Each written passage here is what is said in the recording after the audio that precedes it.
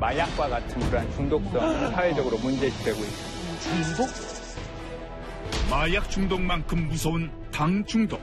이것이 많아지면 당뇨의 위험이 41%. 심혈관 질환, 뇌혈관 질환, 면역력을 파괴하고 암세포까지 철하게 한다.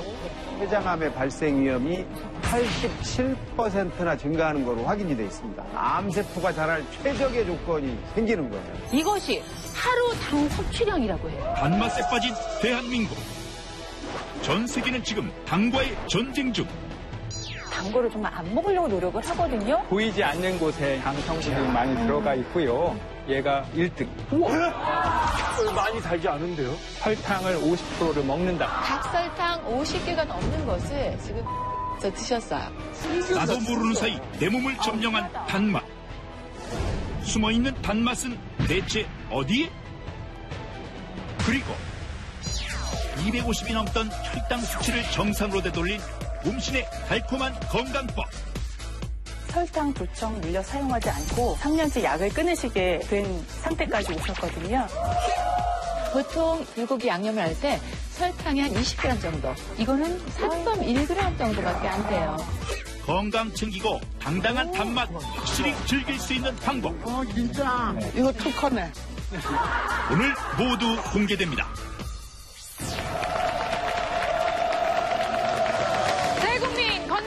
프로젝트 나는 몸순이다.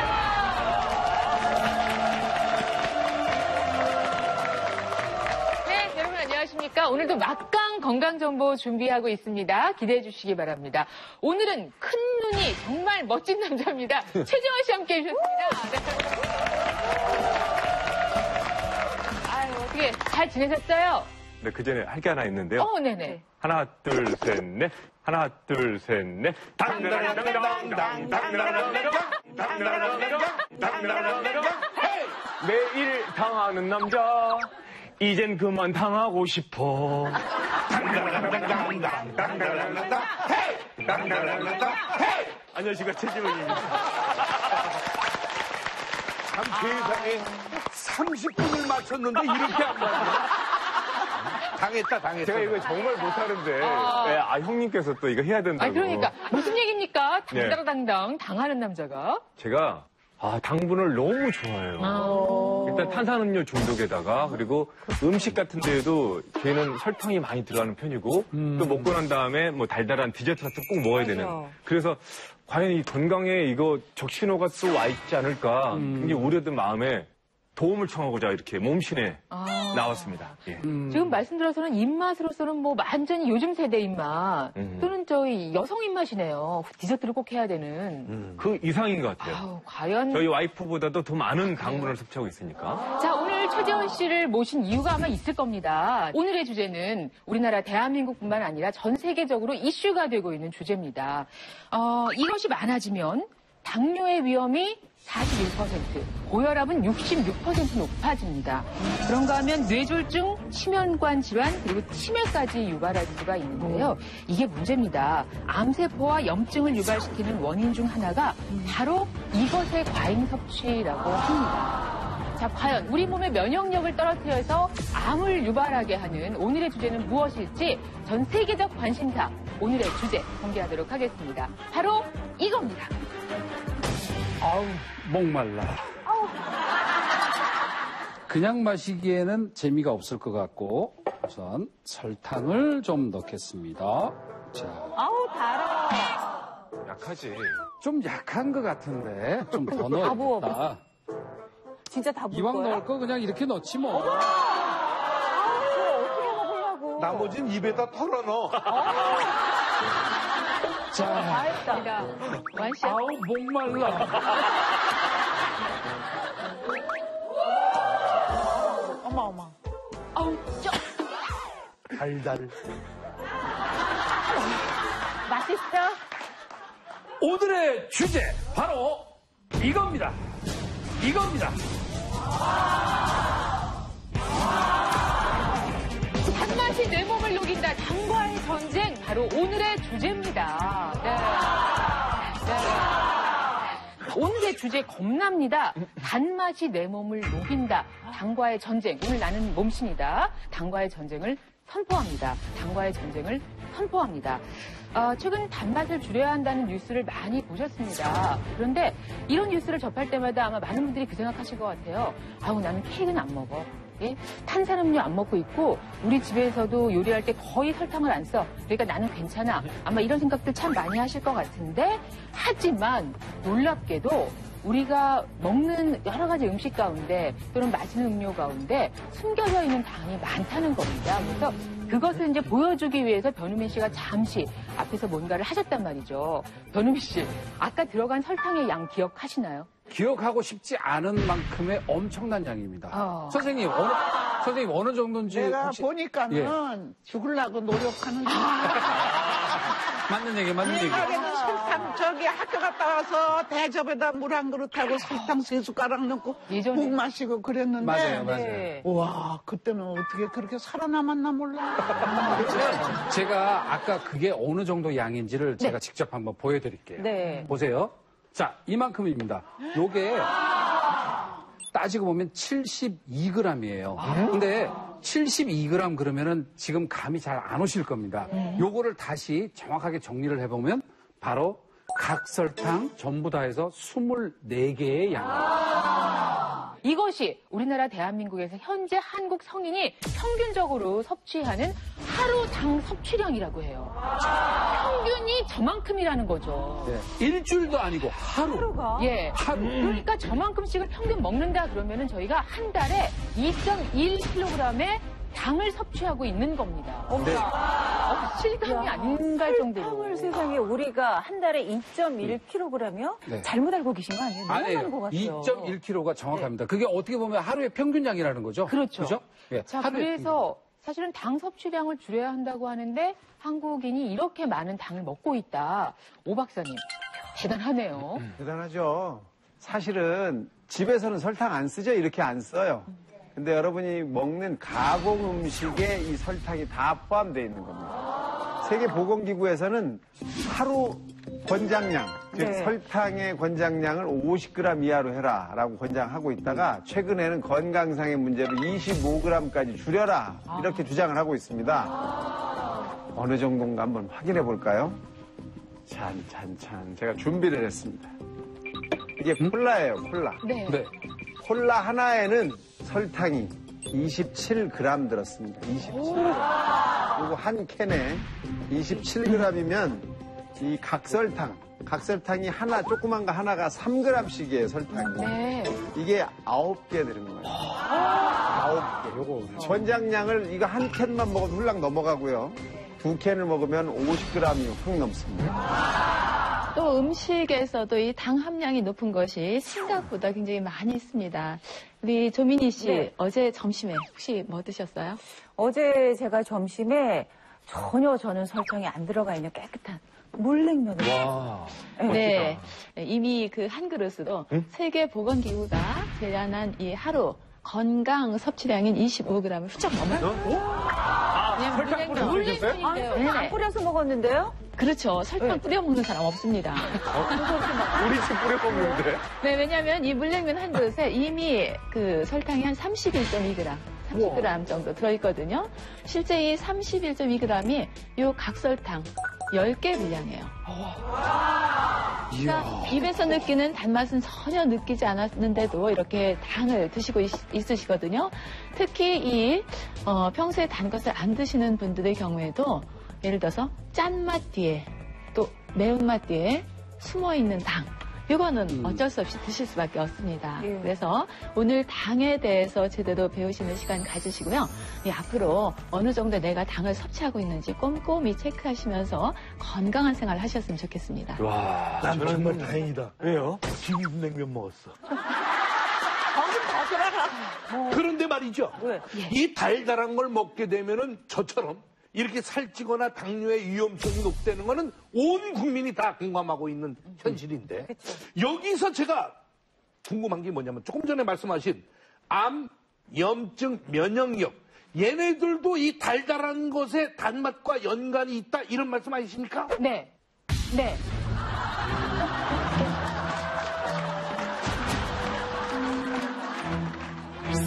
달달한 맛 맛있게 즐기고 계십니까? 이것이 많아지면 당뇨의 위험이 41%.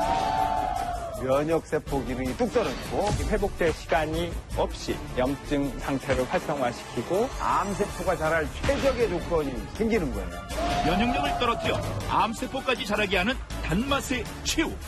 곰탕 먹었던 것 같아요. 건강 생각해서 물냉면을 단맛을 좋아하지 않는다고 안심할 수 없다. 사실은 음식에 이 설탕이 다 포함되어 있는 겁니다. 닭설탕 50개가 넘는 것을 지금 드셨어요. 아우 심하다. 식품 곳곳에 숨어있는 단맛의 정체. 커피 믹스 이렇게 즐겨요. 콜라를 유독 먹을 땐 진짜 행복해요. 검사 결과 보여주세요. 달달한 음식의 배신. 전 단계에 해당이 되십니다.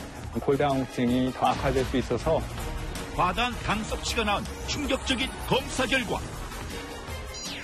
그리고 설탕 조청 물려 사용하지 않고 단맛을 주는 그 정체는 무엇일지 단맛은 올리고 혈당은 내려준 당당한 단맛의 정체는 샐러드인데 달콤해요. 달콤한데? 너무나 놀랍습니다. 지금 시작합니다. 단맛이 내 몸을 녹인다. 당과의 전쟁을 선포하고 오늘 말씀해 주실 몸신 주치의를 모셔보도록 하겠습니다. 다 같이 큰 목소리로 모셔보죠. 나와주세요.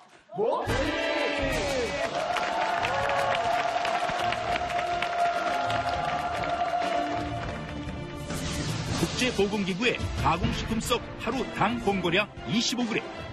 그러나 한국인은 무려 하루 72g의 가공식품 속 당분을 섭취하고 있다.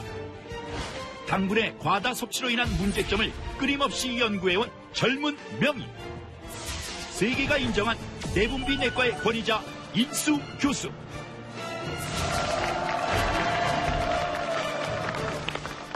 자, 오늘 몸신 주치의 본인 소개를 직접 좀 해주시겠습니까? 네, 서울대 분당 서울대학교 병원 내분내과 교수 임수라고 합니다. 이렇게 만나 뵙게 되어서 반갑습니다. 다시 한번 반갑습니다.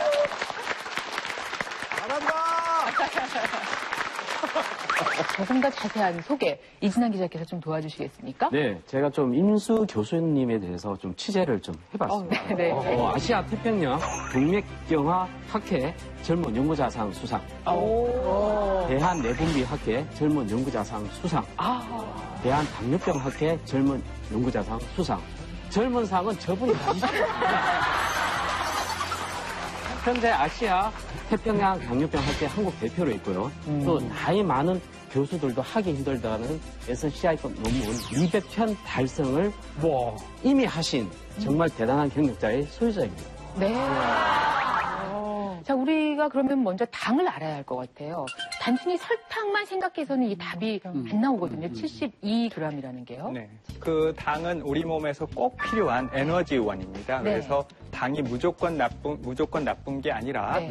어, 우리가 당분을 섭취하면 포도당 형태로 변화하게 되어서 이게 세포 안으로 들어가서 에너지원으로 사용되는 꼭 필요한 필수 영양소인데 네. 문제는 그것을 과다하게 먹기 때문 입니다. 아, 과다. 이렇게 과다하게 먹으면 어, 에너지원으로 충분히 사용된 이후에도 어, 그게 간이나 근육이나 지방 조직에 어, 저장이 되고 그것으로 인해서 지방간 여러 가지 문제들이 예, 2차적으로 생기기 때문에 어, 이러한 모든 것이 그렇듯이 과다하게 섭취하는 게 문제고 네. 또 설탕의 경우에는 그 나쁜 어, 위해한 그러한 작용이 거의 한시간 만에 다 일어나게 됩니다.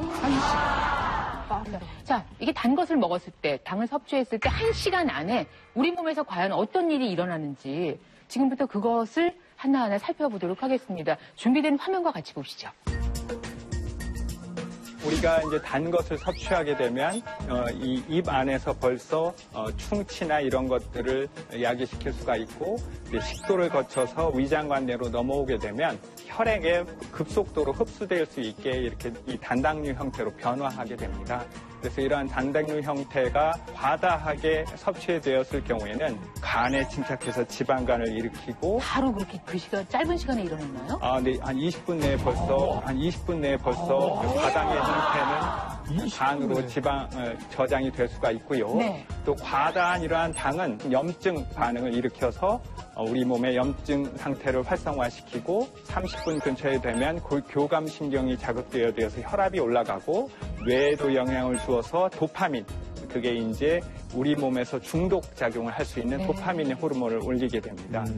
그리고 문제는 이게 조금 더 유지가 돼야 되는데 단순당 형태는 급속도로 또 대사가 되어서 한시간 이후에 급속도로 허기가 지는 아, 그러한 형태가 돼서 피곤함, 나른함, 졸림 등이 같이 생기게 되어서 초창기에는 혈당이 높아서 문제고 나중에 대해서는 혈당이 급속도로 또 떨어지게 됨으로써 우리 몸의 밸런스, 어, 전체적인 균형을 망가뜨리는 가장 좋지 않은 형태가 많은 양의 과당을 섭취되었을 때 나타나는 우리 몸의 반응입니다.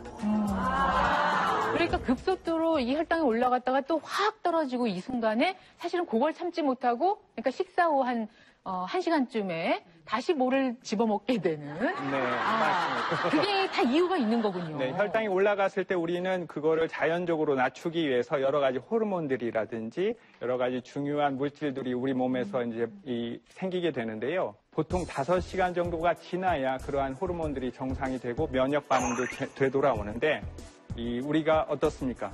단 거를 먹고 나서 5시간까지 참못 기다리고 또 다시 먹게 되죠.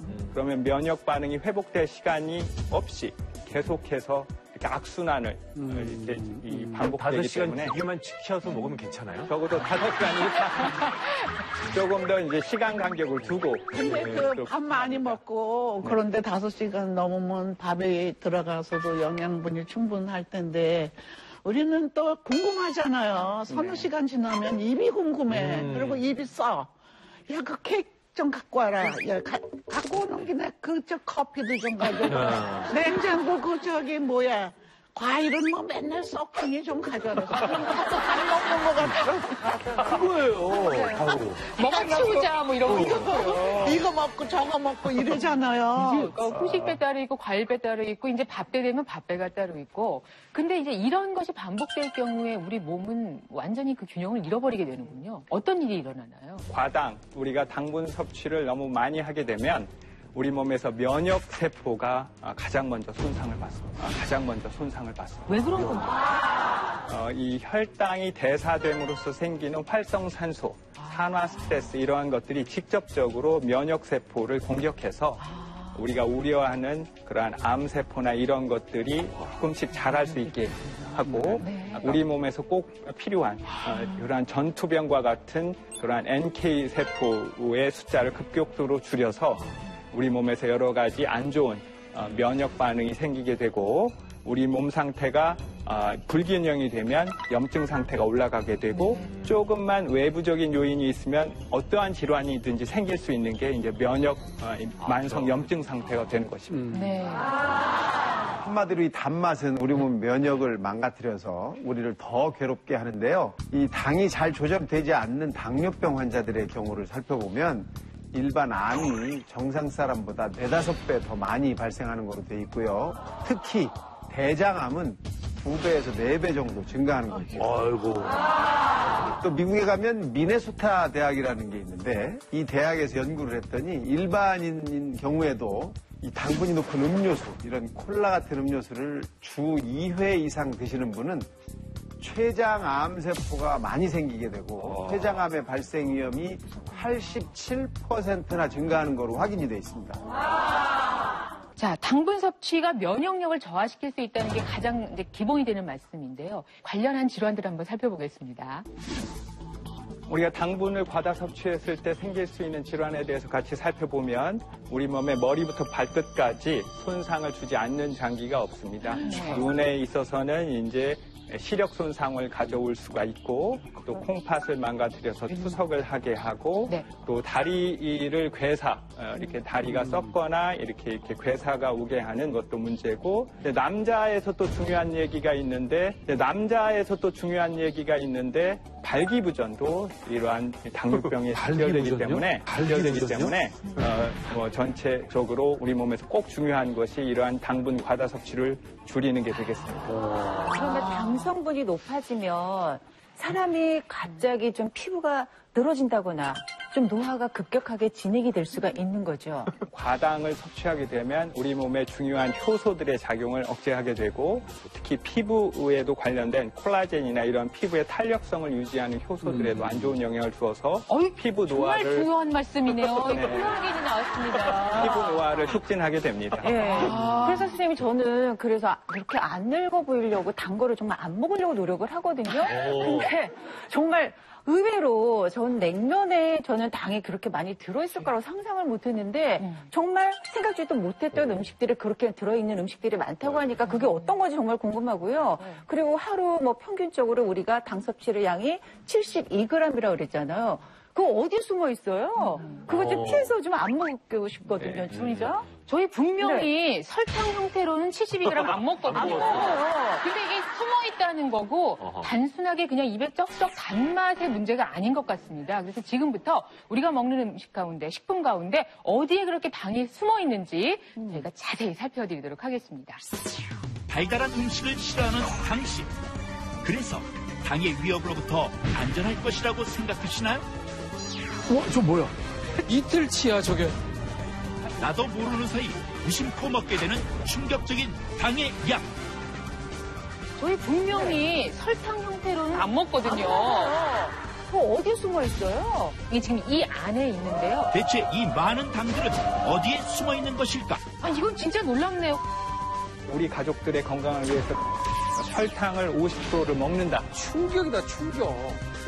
단맛을 가린 채로 당신의 식탁에 오른 당.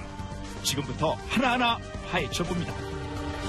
나도 모르는 사이에 우리가 당을 그렇게 먹고 있습니다. 과연 숨겨진 당은 얼마만큼이고 어디에 이렇게 많이 들어있을까 지금부터 확인 들어가도록 하겠습니다. 네, 어, 우선 어떤 것들이 있을까요? 우리가 실생활에서 세 가지 정도를 이제 우리가 꼽을 수 있겠는데요. 이렇게 구체적으로 말씀드리기보다는 우리 최정은 씨 식단을 한번 보고 같이 살펴보면 금방 아실 수 있을 것입니다. 아, 제가 길라잡이를 잘 했나 보죠, 그래도? 네. 네. 어, 그래요. 뭐 얼마나 드셨길래 그런지 첫째 날 식당부터 저희가 확인을 하겠습니다. 보시죠. 본인이 한번 직접 말씀해 네, 줘보세요. 설명드리자면 왼쪽 상단 위에 어 저기 오믈렛 만들어서 뭐 아침에 먹은 거고요. 아, 네. 스마일? 네네. 네, 또. 먹고 난 다음에 콜라 아니에요? 저기 위가? 아 예, 예. 콜라는 이제 기본이죠. 아, 기본으로. 네네네. 먹고. 아침에 세트.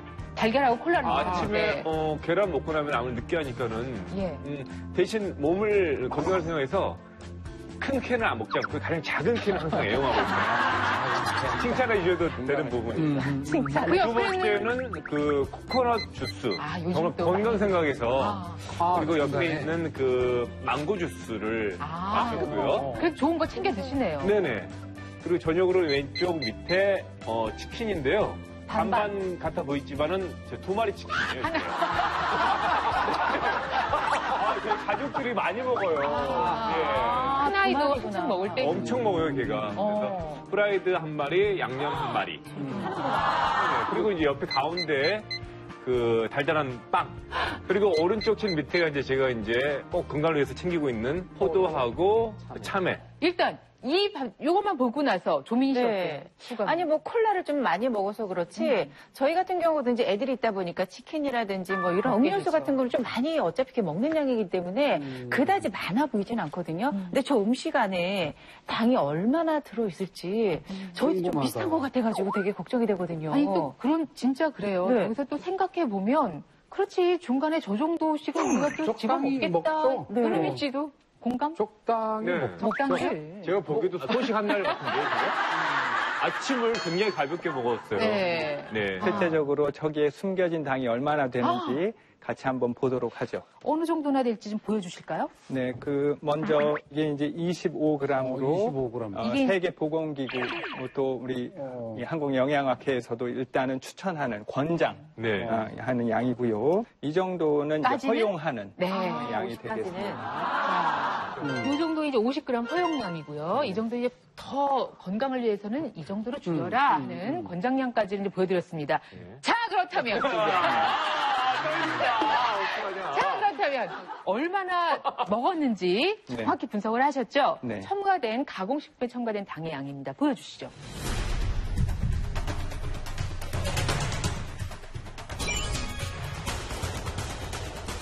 들어갑니다. 이걸로 하기에는 시간이 너무 많이 아! 걸려서 이걸로 하기에는 시간이 너무 많이 아! 걸려서 아! 용기를 달리 해보도록 어, 하겠습니다. 뭐야?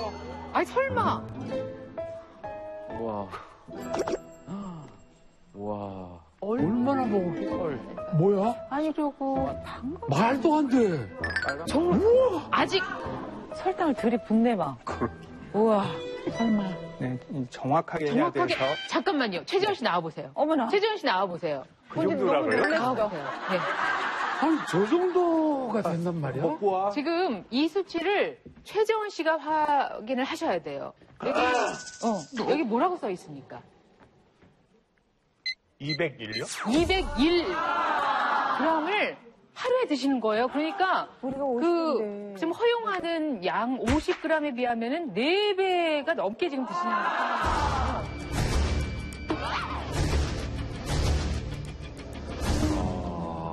할 말을 잃었어. 지금 여러 가지 음식 중에 음료수 부분이 어, 좀 기여를 했을 것 같고 다른 이러한 과일들도 약간 기여를 했을 것 같습니다. 둘째 날을 보시면 조금 더 어, 이 놀라운 결과를 볼 수가 있습니다. 아니 더 놀랍다고요? 둘째 날 한번 확인을 해보죠. 일단 둘째 확인하죠. 날은 예. 저희가 한번 감을 잡아보겠습니다. 충격이다 충격. 어, 뭐 죠? 둥그런 설명 건 한번 뭐야? 해주세요. 빵류를 오전에 먹었던 것 같고요. 아 크라상을 드셨네. 저게 또 그 다음에, 예, 저게 딸이 성당 갔다가 받아온 간식인데 맛있어 보여서 팝콘 치킨이라고 아, 그걸 또 네. 뺏어 먹었었고요. 네. 그리고 왼쪽 칠 하단이 저게 이제 블루베리 굉장히 단맛 나게 응축해 놓은 예, 거에다가 예, 예, 시럽 어. 같은 걸로 그런데 물을 좀 타셨나 봐요. 예, 너무 달아서 저 먹을 수가 없어요. 아 본인한테도 너무 달았어. 콜라에 한 10배 이상 오. 달아요. 그래서 탄산음료를 좀 줄이려고 저걸 만들었는데 아. 어, 저거 만만치 않더라고요. 굉장히 힘들어요. 먹고 있는데. 어, 흡족스럽게 블루베리 그래도 건강 생각. 그래, 건강 생각해서. 네. 네. 그 옆에는 가운데 또 있는 게 이제 저건 뭐예요? 제가 이제 애용하는 음료수. 탄산음료 가운데 있는 거 하나만 빼고 네 개를 먹었어요. 그러니까 음료 4개를 마셨다는 얘기죠. 네. 그 옆에 마지막에 과일이에요? 과일이에요. 포도. 아, 자 둘째 날 네. 얼마큼 나오는지 한번 봐요. 아니 둘째 날도 예. 제가 봐서는 좀 빠진 게 있는 것 같아요. 뭐가요? 우선 밥이 없어요. 전혀 안 드셨나요? 음, 밥은 어디 갔어요? 갈비탕 가운데 갈비탕 먹을 때 밥은 이제 먹었죠. 밥 한 공기 드셨고요. 네, 밥 한 공기 먹고 그 나머지는 밥을 안 먹고 있는 이제 소식하는 날이죠. 어머. 그리고 이제 소식하다 보니까 이제 당이 떨어져서 이제 당은 좀 섭취해줬던 날이고요. 참이 난 잘못한 거 없는 것 같은데 진짜 음. 이상하네. 자, 확인합니다. 이날 정말 신경 쓴 식단이에요. 음. 예. 소식하느라고 밥을 줄이시고 탄산음료와 기타 과일로 채우셨는데 도너츠도 보이고요. 도넛 교수님, 네. 이게 한번 볼까요? 이번에도 시간 관계상 이것으로 좀 진행을 하겠습니다. 어머나. 근데 둘째 날 거는 배부른 거는 그다지 없는 것 같은데. 사실은 입에서 살살 녹아 없어지는 것들이어가지고 어, 저 뭐야? 어? 그럼 말도 안 돼. 300 넘었어요. 아, 네, 알고 있습니다. 저도 잘 보입니다. 왜냐면 지금 400이 넘었는데. 아우, 저렇게 진짜? 큰 걸 올려놓고 덜 걸 그랬어요. 네. 정확하게 410g을 두 배를 먹었네, 두 배. 첫날보다 두 배를. 아우, 심하다. 아, 심각하네요. 네. 근데, 아니 근데 지금 먹은 거에 그렇게 지금 설탕 들어가 있는 게 없는 것 같은데 선생님 이게 확실하십니까? 네, 우리가 이제 보이지 않는 곳에 이제 네. 곳곳에 당 성분이 많이 들어가 있고요. 특히 이렇게 이제 410g이면 각설탕 아, 아까 말씀하셨듯이 하나가 3g이니까 이렇게 하면 거의 한 140개 정도, 140개 정도 되는 것이죠. 네. 그래서 이렇게 이틀치를 이제 잘 적어 오셨기 때문에 이틀치를 잘 합쳐서 네. 별도 왜 합치? 어, 넘쳐, 넘쳐, 넘쳐. 어머. 이틀치야, 저게. 600g 네, 넘었어요. 600g이면 우리가 익숙하죠. 600g은 고기 한 근이 600g이고 이거를 이제 이틀 만에 다 어. 드신 거기 지금 때문에 무슨 포도도 담그는 것 같아. 포도. 아, 네. 엄청나네. 아나 진짜 아니 이거 제가 납득을 못 하겠어요 지금. 그렇죠. 네. 자, 납득이 안 간다 하셨기 때문에 아이고. 야, 이거 충격이다, 충격. 정말 이건 와. 아, 소고기 한 근 무게가 그대로인데 이거 한번 이렇게 들어보시고요. 네. 이틀에 설탕을 이만큼을 드셨다는 이야기고요. 이 식생활을 온 가족이 지금 같이 하고 계시다는 이야기입니다. 그래서 아, 지금부터 걱정이네요. 납득하실 수 있도록 네. 하나하나 소개를 해드릴 텐데 그것 좀 네. 들고 계세요. 이게 어딘가요? 네네. 지금 이제 이 우리 최지원 씨가 드신 거에서 숨겨진 당이 가장 많이 숨어 있는 것이 바로 다 아시듯이 음료수입니다. 이 첫날 아마 몸에 좋다고 드신 것이 코코넛 주스하고 망고 주스는 몸에 좋으라고 드셨을 거예요. 이런 과일 당에도 과일 주스에도 어, 이거 제가 합해보니까 43g. 더군다나 아침에 드신 그 콜라 한 네. 캔이 덧붙여지면은 그것만 해도 거의 70g인데 또 오후에 또 하나 더 드셨잖아요. 그래서 음료수에서 첫날 드신 것만도 97g입니다. 저희는 32개, 각설탕 32개고요. 둘째 날의 경우에도 정말 심각한데요. 둘째 날에 블루베리 주스 이렇게 희석해서 드셨는데 거기에 제가 이렇게 보니까 한 28g 정도 당이 이미 하루 권고량의 반 정도 들어있고요. 여기에 뭐 비타민 음료 또 이 병 커피, 탄산 음료 이런 거 드셔서 거기에 거의 100g 정도 들어있고 또 예, 오전에 그 무슨 따님이 갖고 온 그 네, 닭고기, 팝콘치킨. 예, 팝콘치킨 그거 옆에 병이 있더라고요. 네. 네. 그래서 이제 거기서 또 콜라를 드셔서 아, 음료수에서 드신 것만 거의 지금 제가 계산해 보니까 160g 정도니까 닭설탕 50개가 넘는 것을 지금 음료수에서 드셨어요. 절반이 음료수구나. 과연 이만큼의 그 당을 섭취하게 만든 그 주범들을 하나하나 좀 밝혀주시죠. 첫 번째는 뭡니까? 어, 우리가 가장 먼저 생각해 봐야 될 것이 음료수 속에 포함된 당이 음료수. 되겠습니다.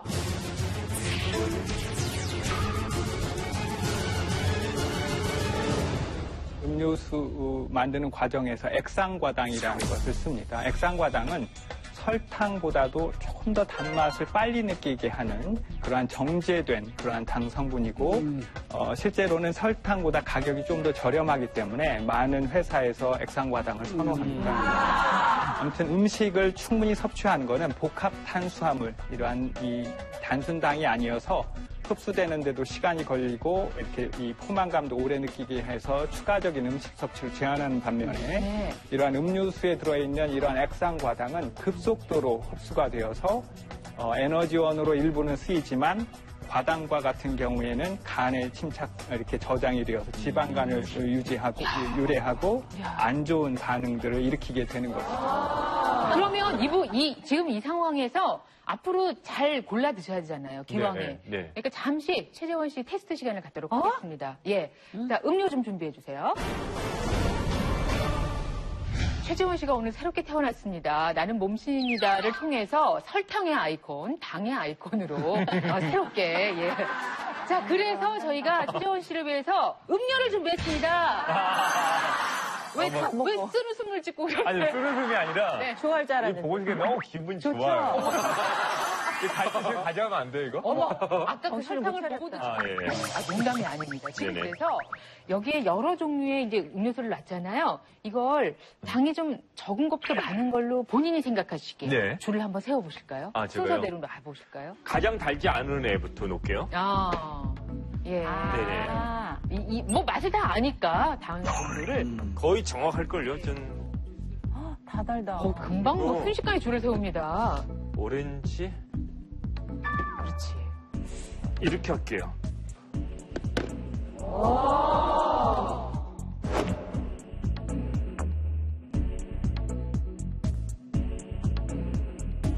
이 가운데 본인이 즐겨 드시는 음료는 어떤 것들이죠? 거의 아, 거의죠. 거의 네네네. 네. 지금 딱 생각나는 음료?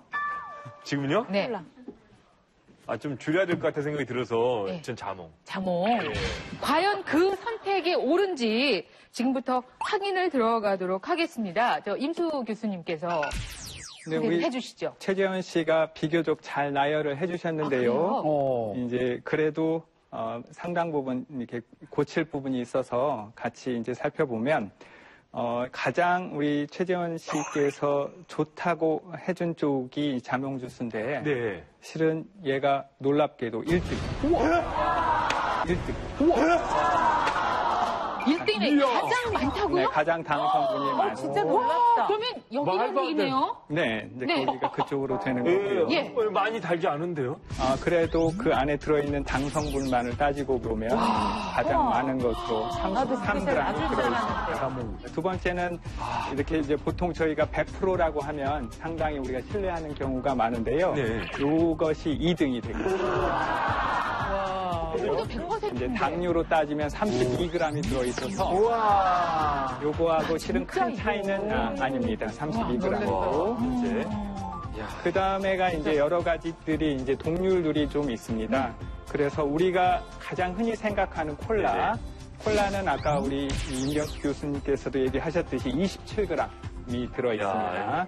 근데 이제 사이즈를 잘 보시면 이거보다 큰 사이즈도 우리가 많이 먹기 때문에 그럴 경우에는 이제 35g까지도 올라갈 수 있어서 주의가 요구하고 제일 작은 건. 그러니까 지금 이 줄만 해도 저희 예상은 완전히 빗나가요. 완전히 빗나가요. 저희는 콜라가 완전히. 가장 높을 거라고 생각했는데 의외로 이 과일 주스들이 1등이었습니다. 잘 보시죠. 네, 저희가 또 흔히 요즘 선- 현대인들, 특히 3, 40대 직장인들이 가장 어, 즐겨하는 네. 커피 음료가 이렇게 당이 많이 아, 들어있습니다. 그래서 설탕? 이 콜라하고 똑같이 27g 들어있습니다. 어, 오. 동물. 네. 이 망고 주스, 망고 주스에서도 이 과당 성분을 포함해서 많이 당이 들어있어서 26g이 들어있고요.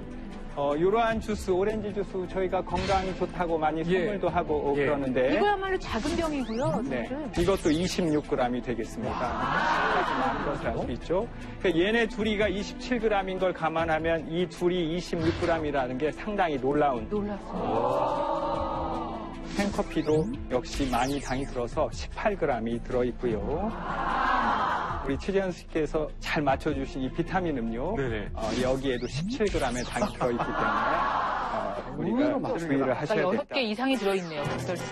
아까 세계 이, 이 보건기구에서 권장한 양이 25g입니다. 네. 25g을 기준으로 하면 요 두 개만 그 안쪽에 있고 요 이상은 한 병만 드셔도 이미 25g을 넘기 때문에 그 권장 수치를 넘어가는 것입니다. 그래서 여성들에게 있어서 자꾸 지방간의 발생이 늘어나고요. 소아 당뇨 그리고 어린 나이에 지방간이 발생하는 건 모두 다 이 당 때문입니다. 실제로 우리나라 그 청소년들의 당 섭취는요 위험 수준이다 이렇게 말할 수가 있는데요. 그 6세에서 11세 아이들이 하루 평균 가공식품을 통해서 섭취하는 당의 양이요 77.4g에 이릅니다. 12세에서 18세 청소년은 81.4g이 됩니다. 이걸 1년으로 계산해 보면 매년 아이들이 설탕을 29kg을 먹고 있는 거죠. 세계보건기구에서 권장하는 하루 성인의 섭취량이 50g인 걸 감안하면 매우 많은 양을 섭취하고 있죠. 고혈압, 당뇨, 동맥경화 이런 질환들은 중년 이후의 나이에 어울릴 만한 병명인데요. 이런 질병들이 청소년들에게 일어나고 있으니까 각별한 주의가 필요하겠습니다. 이게 지금 제일 딜 거라 생각했는데 33일잖아요. 근데 제가 요즘에 탄산음료 줄이면서 애용하고 있는 게 뒤가 있어서 제가 이걸 자주 먹거든요, 요즘에. 아이들이 가장 선호하는 네. 음료이기 때문에 아이들 입니다. 얘가 얼마냐면요, 얘가 45예요. 지금 처음 봤죠? 예, 예. 노래 그래서 처음 나 보셨죠? 지금 너무 놀래서 지금. 그래서 저는 네. 음료에서 당 섭취가 좀 높아진 것 같다라고 말씀을 하셔가지고 저는 아이들 건강을 위해서 무가당 주스 이런 거 있잖아요. 무가당 음료. 네. 그걸 먹이고 있어요. 참 좋은, 좋은 엄마인 것 같은데 그건 괜찮은 거죠? 무가당이라고 해- 하는 것은 그 제품 자체에 추가로 당을 에, 넣지 않았다라는 뜻이지 당이 없다라는 것은 아닙니다. 그래서 무가당 제품도 항상 이렇게 제품을 뒤로 돌려보면 영양 성분 표시가 있으니 당이 얼마나 들어있는지 그걸 잘 확인하고 선택하시는 게 좋겠습니다. 네. 최재현 씨, 자리 들어가시기 네, 바랍니다. 감사합니다. 네. 숨은 당 찾기 계속해서 진행을 해보도록 하겠습니다. 자, 숨겨진 당이 지금 이 안에 있는데요. 과연 그 주인공은 무엇일지 확인을 하겠습니다. 네, 우리 같이 한번 확인을 해볼까요? 네. 짜잔. 짜잔. 자, 무엇인고 하니? 매운맛에 가려져 있는 당, 고추장이고요. 이건 건강한 단맛이라고 저희가 찾는 매실청입니다. 아, 이건 진짜 놀랍네요. 고추장? 매실청? 이건 좀 생각도 안 해보네요. 우리 당연히 먹는 거잖아요. 그렇죠. 리고 매실청 얼마나 좋아요. 고추장도 괜찮은 거 아니에요, 선생님? 아니에요, 아니에요. 고추장이 참 매운데 단맛이 있으니까 참 맛있는데 이거 할 적에 그 찹쌀을 색혀요. 엿기름에. 네. 근데 아, 그 엿기름. 엿기름 이 얼마나 단 건지 몰라요. 그걸로 엿을 만드니까. 그러니까 고추장도 안심할 수 없다 이거지. 그래도 저런 게 있어야 우리가 다 식단에 좀 맛있게 먹고 좀. 야, 고추장 없으면 아우, 어떻게 먹고 살아? 아, 그거는 좀 빼자. 아니, 앞에 음료수는 그렇다 치고. 네. 그래서 고추장이 나와주면 안 될 것 같은데. 아니, 저거는 괜찮다 그러고 좀 없애자. 네, 우리 한국 사람.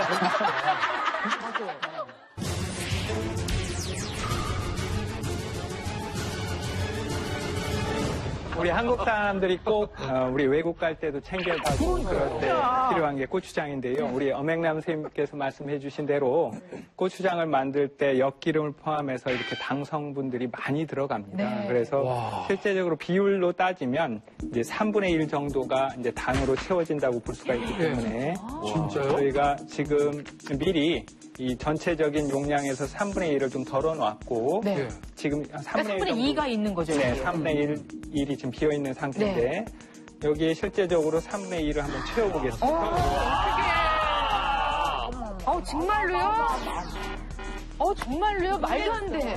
아니 말도 안 엿기름으로 돼. 했는데 또 설탕이 따로 들어가요. 그런 거를 다 합쳐서 어, 이제 말씀드린 것입니다. 그래서 네. 적어도 한 이 정도는 음, 음, 들어가야 이제 고추장이 우리가 실제적으로 네. 감칠맛이 좋을 정도로 매운맛도 있고 단맛도 있게 되는 것이죠. 자, 그러니까 그냥 고추장에 3분의 1 정도의 당분이 더 들어가서 우리가 맛있게 먹는 그 고추장이 완성된다는 겁니다. 그래서 지금 이 통에 3분의 1을 더하고 나니 이렇게 돼버렸어요. 이걸 저희가 먹고 있는 거니까 이거야말로 숨겨진 당이고 숨어있는 당이네요. 그러네요. 생각도 못 해봤네요. 밥에도 비벼 먹고 또 우리나라 네. 사람들은 고추장 같은 게 없으면 여행 가서 항상 고생하면서 항상 챙겨가잖아요. 그리고 고추장 볶음 할 때게 네. 일부러 설탕을 넣잖아요. 그렇죠. 지금 달달하고. 말씀하신 대로 고추장 할 때도 설탕 더 넣어. 원액 원 재료에도 이미 3분의 1이 들어 있는데 네. 더 맛을 내기 위해서 추가로 설탕을 더 뿌리는 경우가 있고 실제적으로 시중에서 이제 우리가 떡볶이 우리 아이들 좋아하고 맞아요. 젊은 사람들 좋아하는 떡볶이도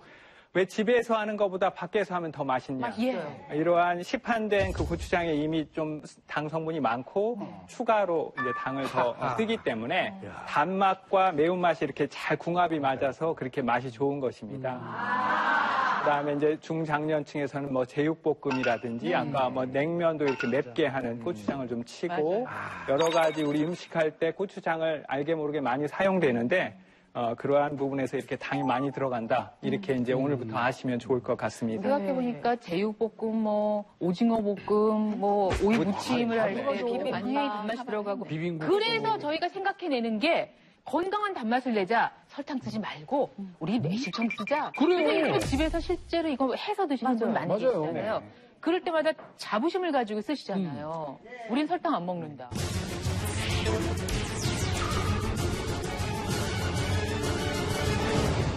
매실청, 특히 매실 자체는 매우 좋은 음식입니다. 특히 매실을 발효시켜서 어, 하면 여러 가지 우리 몸에서 효소 반응이라든지 이렇게 좋은 반응이 일어나는데, 어, 우리 지부님들께서 더 잘 아시다시피 이렇게 매실청을 만들 때 설탕과 매실의 비율을 50대 50, 1대1로 정확히 넣게 되어 있습니다. 맞아.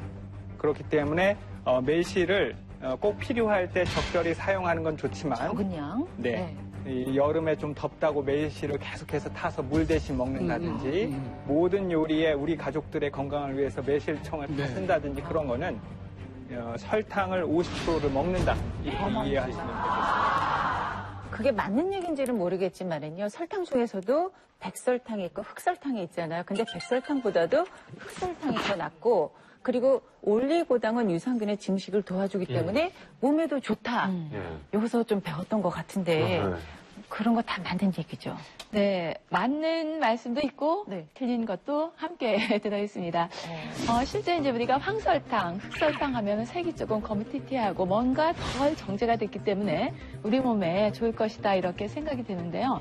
안타깝게도 백설탕의 경우에는 사탕수수의 원당을 저- 그 정제를 해서 그대로 가공한 것이 이제 백설탕이고요.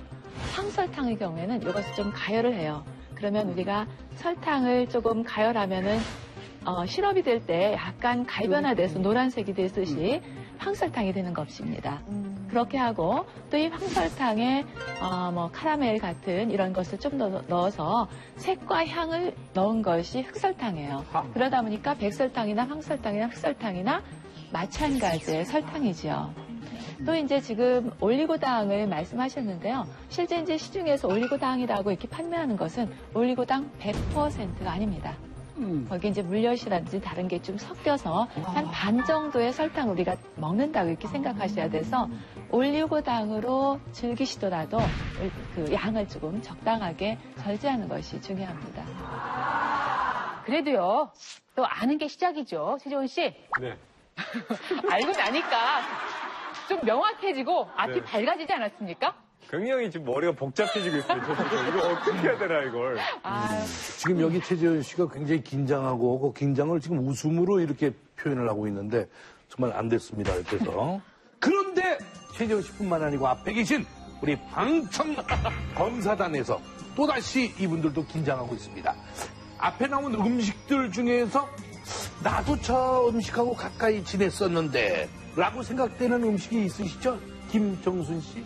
예, 저는요, 뭐, 다른 그 단, 뭐, 간식 같은 거 그렇게 찾지를 않는데, 눈 떠서부터 해가지고 커피 믹스를 그렇게 즐겨 마셔요. 예를 들어 식당을 가면 그 밥이 나오기 전에 저기 가서 커피 믹스 먼저 뽑아서 식 전에? 마시고, 예. 와. 그 다음에 또 밥 먹고 나서. 뭐- 식후에? 예. 그래서 하루에 한 적어도 일곱, 여덟 잔? 예. 또 피곤하다 그러면은. 또 한잔 먹고. 뭐 아홉 잔도 마실 때도. 요즘은 믹스커피, 찌르려고. 한, 믹스커피 하나에요. 예. 설탕이 5.5g 들었어요. 그 일곱 여덟 개 먹으면 곱하기를 하면 되니까 5g만 들었다고 하고 8개 먹으면 5, 8, 40g 먹어요. 그걸 매일 그렇게 드세요? 블랙 커피를 그래서 블랙 커피를 마셔봤는데 또 그거 마시고 나서 또 생각이 나요. 네. 아니, 결국은 단계에 당기실 예, 거예요. 그래서 아 중독이 돼서 이제 없으면 좀 불안하기도 하고. 네. 저희가 어. 가루로 있어서 몰랐는데 믹스된 그 커피 안에 5.5g의 설탕이 들어있다는 거는 각설탕이 거의 두 개가 들어있다는 이야기거든요. 이것도 한번 생각을 해보시고요. 그 옆에 분은 혹시 뭘 좀 좋아하세요? 저는 조금밖에 안 먹어요, 콜라를. 콜라를 조금밖에. 네, 처음에는 이렇게 조금 단 게 땡기더라고요. 네. 그래서 또 먹고 피곤해서 먹고 그러고 나서는 또 소화가 좀 안 됐어요. 음, 음, 나이를 음. 조금씩 먹다 보니까. 그래서 소화가 안 돼서 콜라를 조금씩 먹다 보니까 속도 편안하고 그러다 보니까 양이 늘었어요. 응, 거기다 또 이제 식빵, 식빵에다가 딸기잼 발라서? 차 스푼으로 두 스푼 정도 바르고 그 위에 땅콩잼 발라서. 딱 이렇게 붙여서 콜라하고 먹으면 맛있죠? 먹을 땐 진짜 행복해요. 딸기잼 두 스푼. 하고 거기에다 이 땅콩잼도 이렇게 바르시고 식빵 두 조각에 콜라 한 캔. 아주 간단하고 그런데요. 제가 계산하니까 딸기잼이 벌써 두 스푼이면은 거기에서 20g 정도. 당이 예, 당이 들어있고요. 버터잼에 빵 여기에 콜라 한 캔 더하니까 78g이에요. 그러니까 이뭐 간단하게 이렇게 하는 게 한 스푼이 설탕 10g 들어간다고 생각하시고 하셔야 돼요. 이거 한 스푼 하는 것이. 78g이면 하루에 섭취 기준량 더 이상 먹지 말아라는 게 어. 50g인데 그거 한 1.5배로 초과한 양을 점심 때 간단하게 드셨습니다. 근데 아주 표정은 밝으시고. 성격 참 좋으세요. 예, 아주. 그럼 어떻게 해요? 저 먹었는데 웃어야죠. 잘하는 거예요. 맞아요. 이제 우리 옆에 30대 또 여성이 계시니까 한번 이 말씀을 들어보겠습니다. 어떻게? 저는 그 콜라를 유독 좀 좋아하는데요. 좋아하는 걸 넘어서서 좀 사랑해요. 음. 어. 1.5리터를 예, 집 이렇게 매일 사요. 매일 한두 병을 사서 매일 그거를 마시는데 어, 좋아. 어 떻게 먹냐면 와. 이제 냉장고에서 꺼내 놓은 상태로 페트를 그대로 놓고 그대로 마셔요. 그냥 식어도 마시, 맛있거든요, 이게. 가스가 나가도 괜찮고 단맛으로. 네, 그 단맛으로 먹고요. 그래서 너무 심한 것 같아서 몇 년을 그렇게 먹다가 안 되겠어서 요즘에는 캔으로 바꿨는데 안 좋은 거는 캔도 사다 놓으면 많이 먹을까봐 매일 사러 가는데 캔을 하나만 먹어야 되는데 이제 줄이니까 다른 탄산까지 같이 사서 아. 음료수를 이제 세 캔, 네 캔 이렇게 사게 아하. 되더라고요. 그래서 조금 많이 걱정이 되기는 하는데 남들 다 그렇게 먹지 않나 싶어서 어, 맞아요. 예. 남들 그렇게 먹어요. 제 나이 먹어요, 그렇게. 어떠세요? 지금 말씀 쭉 들으셨는데. 네, 일단은 먹는 거에 대해서 약 즐거움을 갖는다는 측면에서는 일단 다 축하, 칭찬을 드리고 싶고. 어, 그렇지만 이제 앞서서 우리 김정수님과 김남수님이 말씀하셨듯이 중독성이 좀 문제입니다.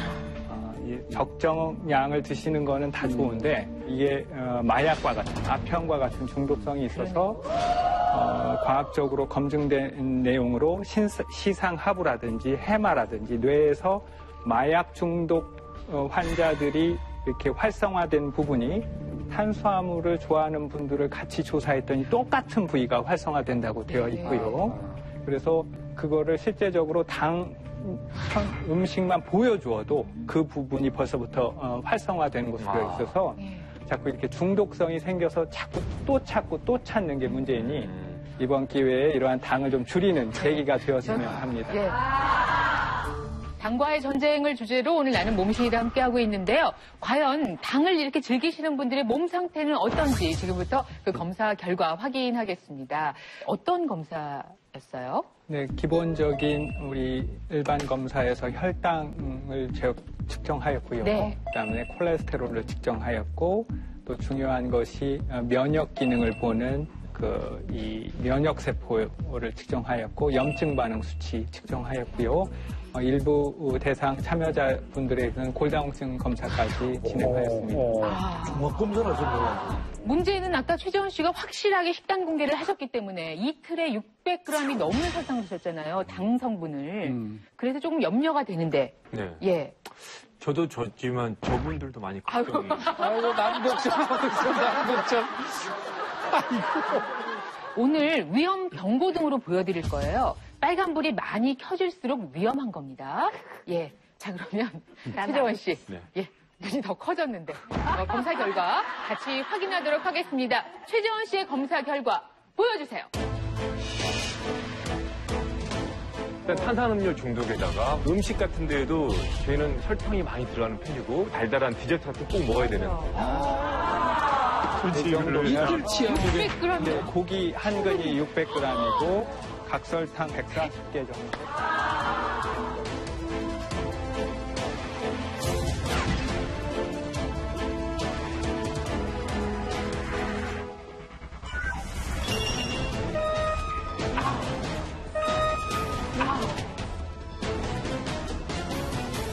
아무렇지도 어. 아, 아, 아무렇지도 어. 아, 아.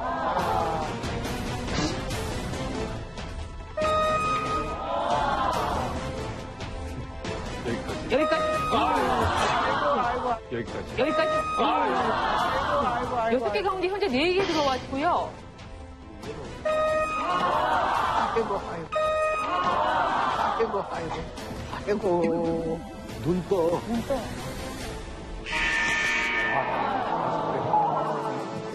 여섯 개 가운데 다섯 개의 경고등이. 들어왔네요. 네. 예. 왜 이런 결과가 나왔죠? 네, 그 최재원 씨 검사 결과를 살펴보면 어, 당뇨의 위험성이 높다 이렇게 네. 이제 말씀드릴 수가 있고요. 또 더 중요한 거는 이제 인슐린 저항성이라는 좀 어려운 개념이 있는데 당이 높은데 그게 우리 몸에서 잘 이용되어질 수 있느냐 그걸 인슐린에 얼마나 잘 반응하느냐를 보는 건데 네. 그거에 대한 저항성이 매우 높은 저항성이 매우 높은 13.1이라는 수치가 나왔습니다. 그 얘기는 어, 당을 조금이라도 과다하게 먹었을 경우 다른 분보다 더 위험성이 매우 높아진다는 뜻입니다. 인슐린 저항성은 기준이 기준이 2.5가 되고 2.5 미만이 보통의 대부분의 정상인이 나오는데 근데 제 13이 나왔다고. 13.1이니까 5배 정도는 이제 높게 나왔습니다. 그 일단은 이제 당뇨 걱정을 하셔야 된다는 거죠. 위험성이 상당히 높다는 그런 말씀이신데 네. 어, 면역력은 어떻습니까? 그 우리가 염, 만성 염증 상태를 평가하고자 해서 C 반응 단백이라고 이제 의학적으로 중요한 수치가 있습니다. 그걸 측정하였을 때 기준치가 0.01. 그러니까 대부분의 사람들은 그 기준치를 넘지 않아야 되는데 우리 최재원 씨께서는 0.03으로 어, 경도, 그러니까 아주 높지는 않지만 그래도 만성 염증 상태가 조금 어, 있다라는 뜻이고요. 콜레스테롤 수치가 219로 이제 정상 범위를 약간 상회하는 정도여서 빨간불이 하나 켜졌고요. 어, 아까 당 성분에서도 어, 단순 당 섭취율이 좀 많으셨는데 공복 혈당 수치가 어, 실제적으로 135가 나왔습니다. 또 어, 아까 말씀드린 대로 면역 세포 영어로 이제 natural killer cell이라고 하고 실제적으로 전투 역할을 하는 네. 군인과 같은 세포인데 보통은 이제 에, 좋은 사람은 한 30%까지도 나오는데 적어도 15% 아무리 우리가 낮게 잡아도 10% 이상은 돼야 되는데 최재원 씨께서는 9.2%밖에 안 되기 때문에 10%가 안 돼서 이런 것들을 줄여야 되는 근본적인 이유가 되겠습니다. 신기하네요. 오늘 돈 내고 가셔. 네네. 아, 음. 난 이런 게 정말 당분하고 연관이 있을 거라 생각을 못 했었는데. 당의 과잉 섭취라는 게 몸을 이렇게 만든다는 걸 와, 확인을 하셨죠. 수치상으로 예, 아주 예. 명확하게 나왔습니다. 네. 자, 그러면 이제 정말 걱정하고 계시는 우리 방청석에 앉아 계신 어, 시청자 여러분의 건강 상태 확인하도록 하겠습니다. 역시 똑같이 위험 경고 등으로 볼 텐데요. 예. 자, 보실까요? 첫 번째 분 누구십니까?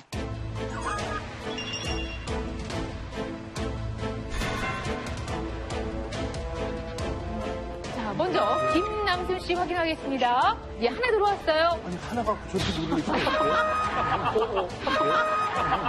자, 또 들어왔습니다.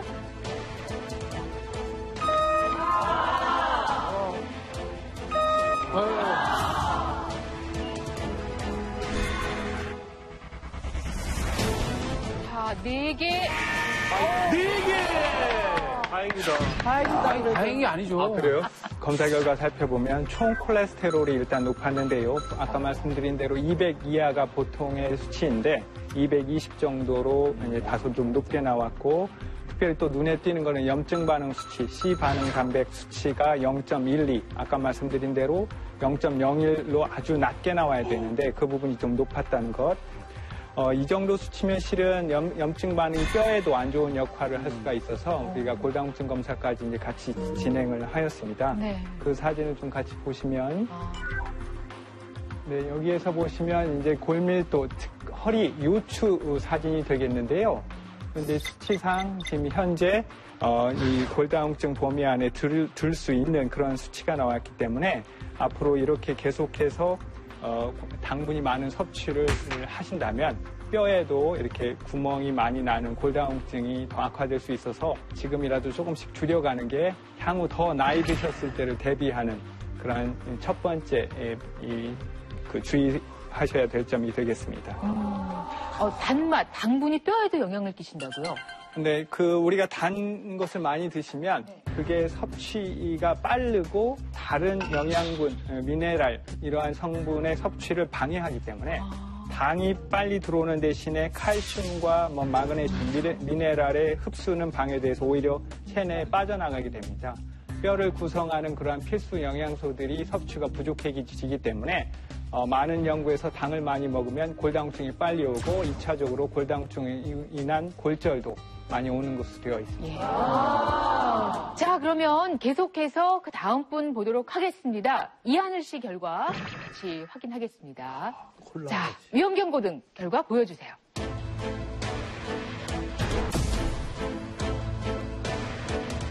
콜라를 1.5리터씩 하루에 하나씩 드셨다고 했는데, 아, 하나씩 드셨다고 했는데, 아, 아직은 젊은 34세 나이입니다. 오, 오. 어떡하면 좋아. 아, 들어오네요. 아, 콜라가 아. 콜라 주셨어요. 상대적으로 좋은 결과를 나온 이유는 아직 나이가 젊어서 그렇죠. 네, 그래서 어, 그래도 세계에 나온 이유는 공복 혈당이 113인데 어, 첫 나이에 초정도 체형이면 절대로 100을 넘어서는 안 됩니다. 네, 벌써 113이라는 것은 향후 당뇨병 발생 위험도가 높다고 할 수가 있고 아까 얘기한 대로 인슐린 저항성이라는 수치가 2.8로 기준치인 2.5보다는 살짝 높기 때문에 이렇게 말씀드릴 수가 있고요. 어, NK 세포의 퍼센테이지가 4.6%밖에 안 됩니다. 어, 당장에 콜라의 이 섭취량을 줄이지 않으시면 어, 이러한 NK 세포의 기능이 계속해서 어, 나빠질 수 있기 때문에 꼭 줄이시도록 전문가로서 조언을 드립니다. 어, 결과들이 좋지 않아서 또 염려가 되는데 다음 분 또 결과 같이 확인하시겠습니다. 자, 위험 경고등 보여주세요.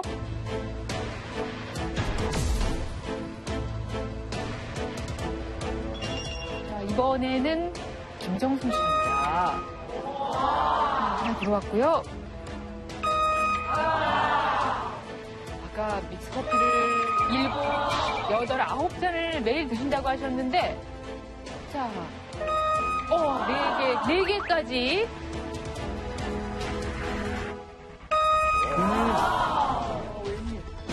아이고.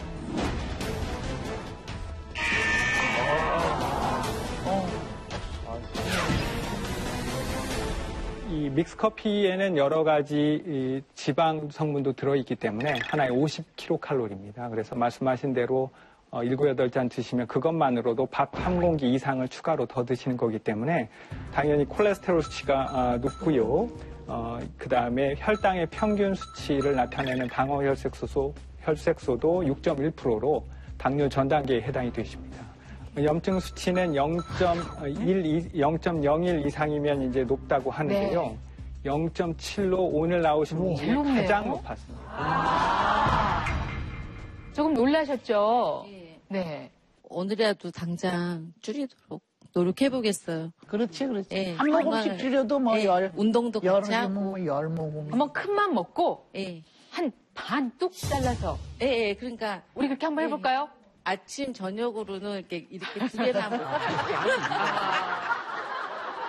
자, 이렇게 해서 과잉 당을 섭취하고 계신 여러분들의 검사 결과 봤습니다. 보고 나니까 우리 식단, 우리 식습관 많이 바뀌어야 할 것 같습니다. 잠시 후에 몸신을 모시고 또 자세히 말씀 나눠보도록 하겠습니다.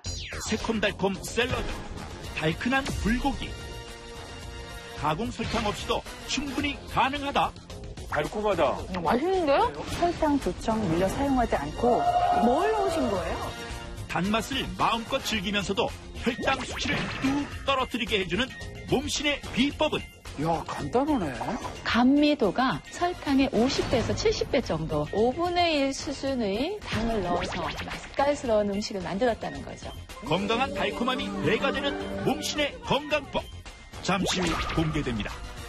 설탕 0g. 하지만 당당한 단맛으로 혈당은 낮추고 단맛은 제대로 살려주는 건강 밥상 소개해 주실 분 오늘의 몸신으로 모셨습니다. 다 같이 모셔보도록 하겠습니다. 나와주세요. 몸신!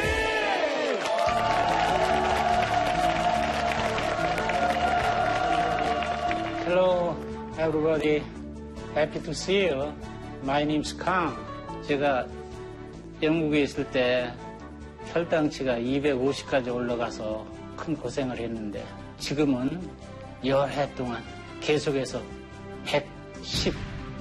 117에서 120 정도로 유지가 되고 있습니다. 이렇게 내 혈당을 잡아주는 몸신 제가 소개를 드리죠. 나와주세요.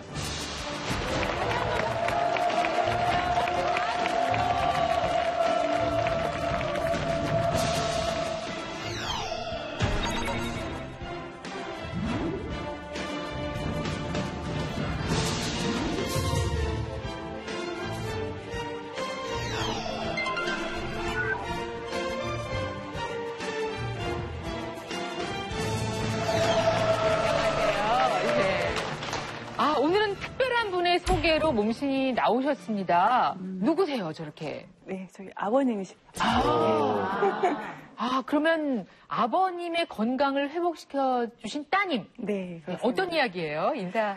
겸 네, 네, 안녕하십니까. 저는 그 제주도에서 온 강희유라고 하는, 합니다. 그 아버님이 당뇨로 좀 걱정을 많이 하고 계셨고, 식구들도 이제 가족력이 있어서 이제 이것저것 연구를 하기 시작했어요. 그래서 이제 요리 연구가까지 이렇게 되었습니다. 아버님께서 영어를 하시고요. 예, 또 영국에 계셨었다고 말씀을 하시는데 간단히 아버님 소개를 해주신다면 건강 상태와 함께. 예, 아버님은 영어 영문학과 교수로 계셨고요.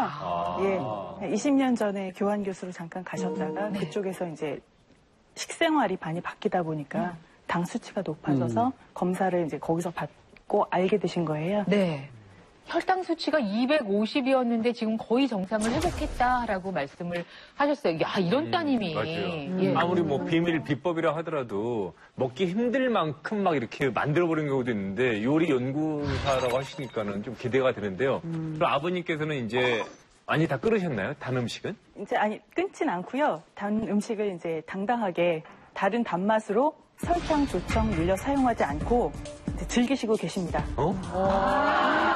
그래도 당이면은 단맛이라는 것 자체는 없애야 되는 거 아니에요? 근데 왜 그걸 매일 그렇게 드시고 계시죠? 괜찮나요?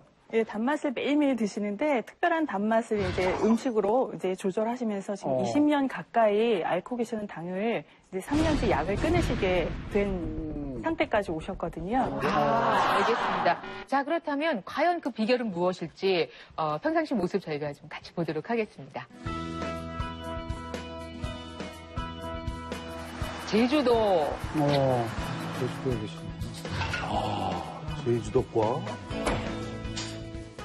제가 제일 안 좋았을 때가 영국에 있을 때인데 소변에 포함된 당이 엄청 높아요. 250이 넘겠죠? 그래서 현재는 120 이하로, 120 이하로 내려가 있어요.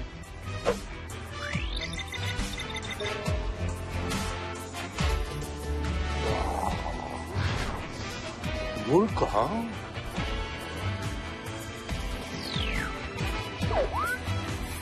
아버님의 음식은 이제 전담을 해주시는 것 같은데, 자, 지금 뭔가 비법이 나오나요? 아, 뭔가 있습니다. 냉장고 안에. 아, 뭔가 있습니다. 냉장고 안에. 뭐지?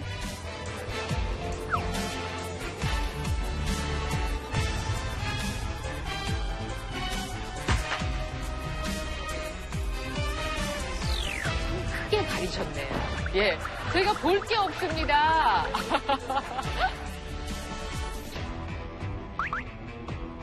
아버지 식사 드세요.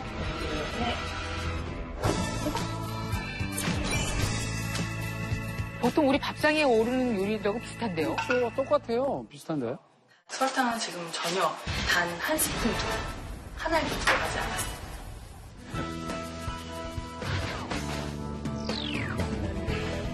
설탕 맛은 단맛이라고 좀 뒤에 맛이 떨죠. 근데 이 단맛은 뒤에 맛이 떨지가 않아요. 야, 신기하네.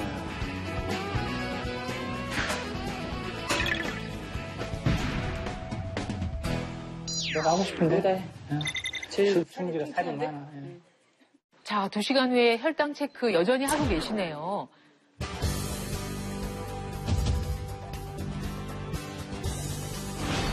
(114) 와! (114) 와!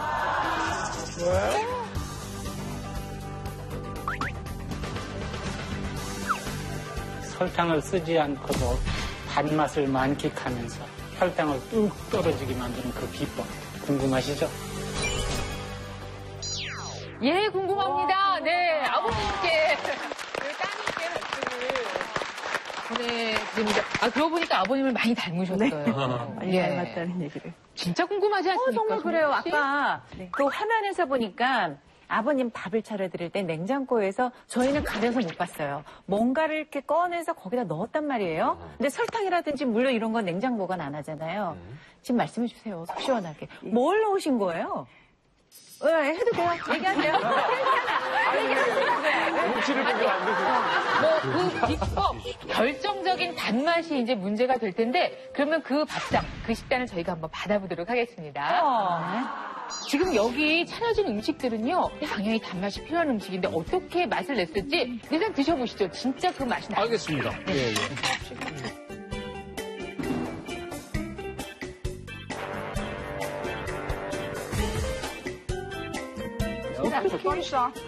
그 좋은 구분. 이게 좋아. 와, 달콤하다. 최지원 씨한테 단맛이 느껴진다 그러면 그건 괜찮은 거잖아요. 네. 여기 이것도 알죠? 아니, 오이 무침도 이렇게 그냥 살짝 달면서 상큼한 맛? 당을 충분히 많이 썼을 것 같은데 당을 한 톨도 안 썼다니 너무나 놀랍습니다. 어, 달면서도 향까지 뭔가가 들어있는 굉장히 뭔가 엄청난 비법이 있지 않을까 싶어요. 너무 현금이, 맛있어요. 현금이. 네. 우리 저기 가자. 어디요? 이거 특허네. 이거 특허네. 얘도 주셔야지 특허를 내지, 저희끼리. 설탕 안 들어갔습니다. 조청 아닙니다. 꿀도 아닙니다. 그렇다면 과연 이 음식의 감칠맛과 단맛을 주는 그 정체는 무엇일지 자 이제 확인해 보도록 하겠습니다. 제가 공개해 드리겠습니다. 어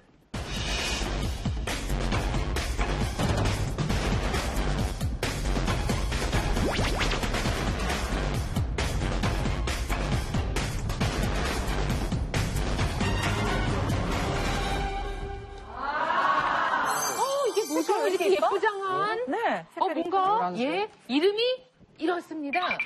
천연. 설탕. 천연 독설탕. 그럼 설탕은 맞나요? 제가 여기 있는 까닭이 있습니다. 왜요? 왜냐고요? 제가 한번 맛을 보겠습니다. 이것부터 먹어볼까요? 아, 먹어도 이 돼요? 완전히 뭐 흑설탕 녹였다가 얼어놓은 것 같은데 한번 먹어야 되죠? 네.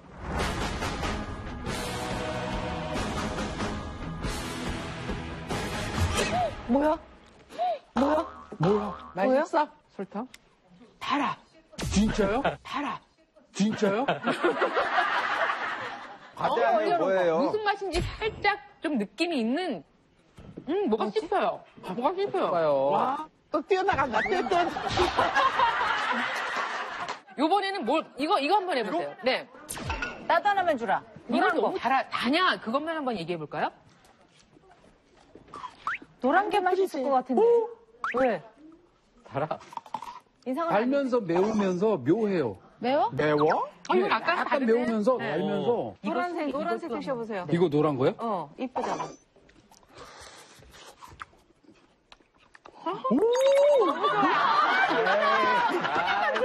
여기도 좀. 아, 이건 뭐 이건 그거죠. 하나 먹어, 너무 이건 어디 이리 가져와, 빨리. 아유, 선생님 하나 드릴게요. 뭔데? 나도 여잔데 하나 먹을까? 응, 드셔.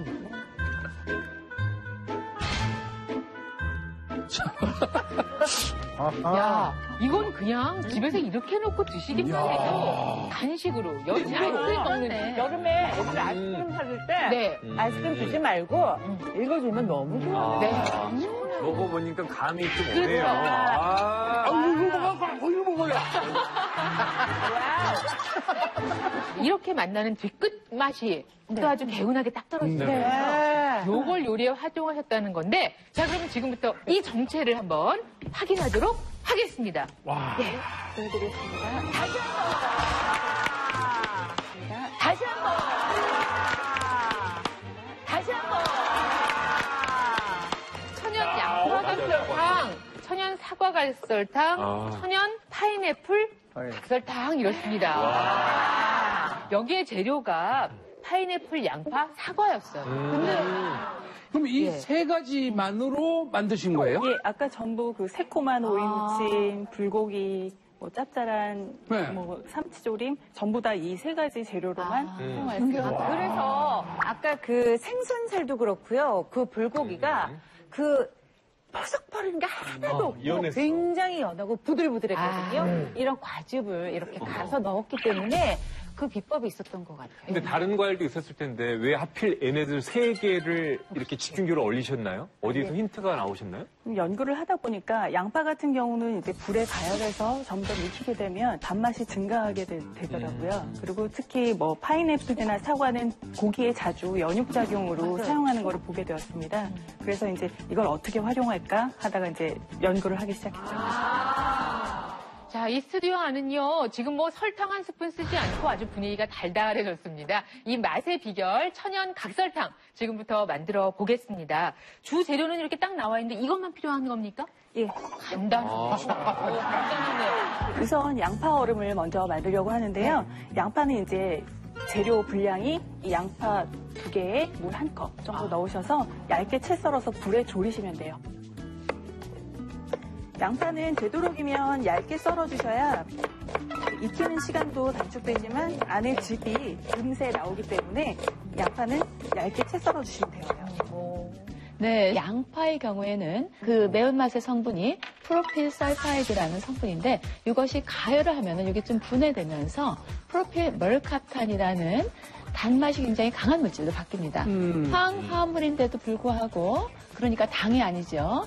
감미도가 설탕의 50배에서 70배 정도 이렇게 크기 때문에 소량만 있어도 굉장히 단맛을 우리가 느낄 수 있게 되는 거죠.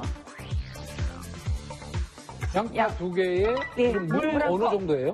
물량은 반을 사용하시면 돼요. 하나에 반 컵 정도 사용하시면 된다고. 예. 양파의 반 정도 잡으면 되겠네요. 네, 무게. 네, 네? 네. 예. 해서 해서 이렇게 준비된. 물을 넣고 네. 그냥 끓여주시기만 하면 그냥 끓여요? 네네. 몇 분 정도 아, 끓여요? 아무것도 안 넣고. 보통 한 15분에서 20분 정도 걸리는데요. 네네. 지금 이 상태가 되실 때까지 끓이는 거니까 뭐 그들은 그냥 아실 겁니다. 수분을 완전히 더 날려주시면 더 당분이 증가되고요. 어. 예. 지금 이것을 이제 여기에 넣고 갈아서 한번 더 갈아요? 네. 얼리는 게 아니라 이제 처음 가는 거. 거의 뭐 수분이 사라질 정도까지 이제 아주 무르게 네. 이렇게 준비가 안에 되어 있으면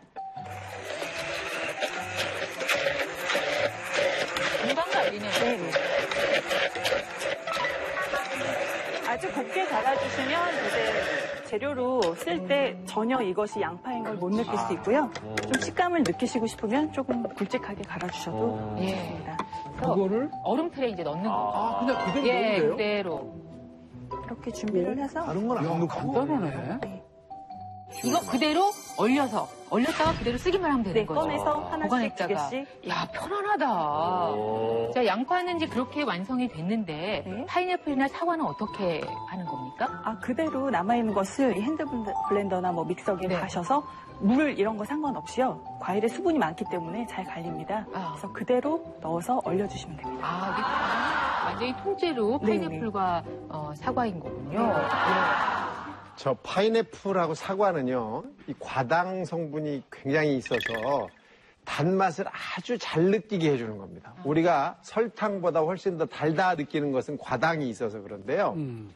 저 안에 들어있는 이 과당을 그렇게 얼려서 사용하면 좋은 점이 또 한 가지가 있어요. 어.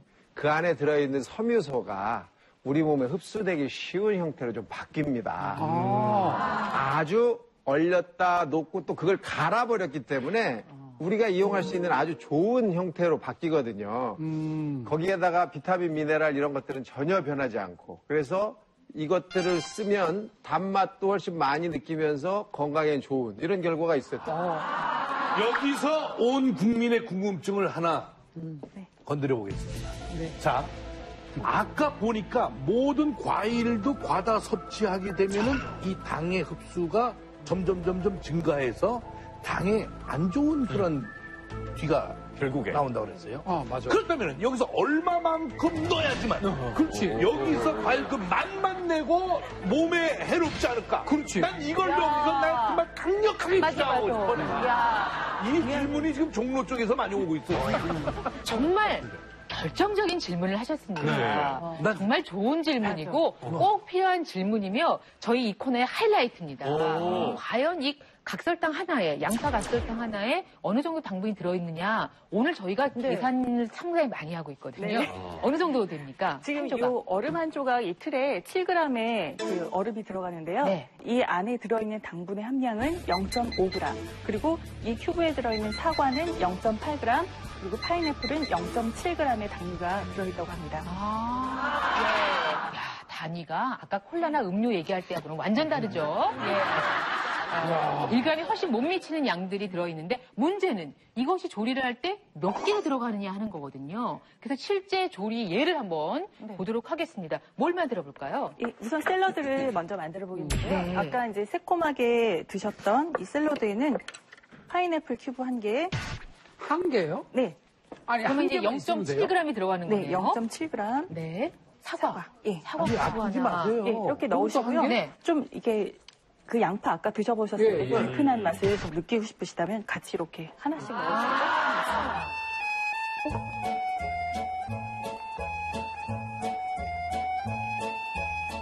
자, 그러면 이번에는 오이 무침 한번 해보겠습니다. 오이 무침 이만큼 만드는 데는 재료가 얼마나 들어갈까요? 예, 오이 무침의 당분은요. 사과 하나, 그리고 양파 한 개. 네. 음, 기본적으로 사용해 주시고요. 단맛은 이걸로 내고. 예, 단맛은 내고 이제 무침 보통 기본적으로 하시듯이 예. 뭐 고춧가루 약간, 아이고, 네. 그다음에 뭐 액젓 조금 넣으셔도 상관없고요. 네. 참기름 좀 넣고 아. 뭐 새콤달콤하게 드시기 원하시면 식초를 넣으셔도 맞아요. 괜찮습니다. 어떻게 소금은 안 쓰세요? 예, 소금은 가능합니다. 그렇구나.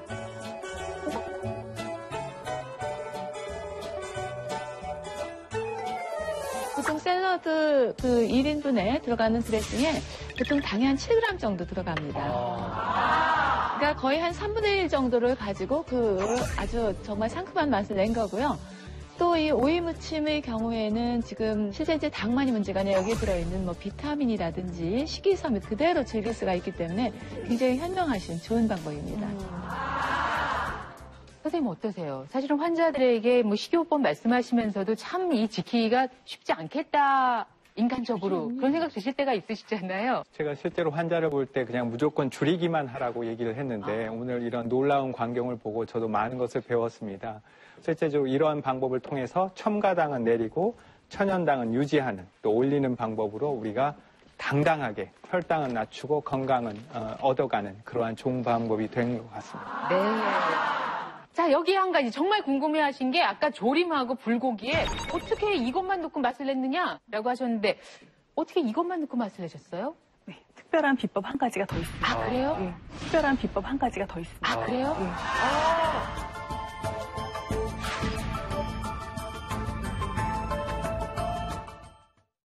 잠시 후 그러니까 조림하고 불고기에 어떻게 이것만 넣고 맛을 냈느냐? 특별한 비법 한 가지가 더 있습니다. 특별한 비법 한 가지가 더 있습니다. 당 함량은 절반, 달달한 맛은 두 배.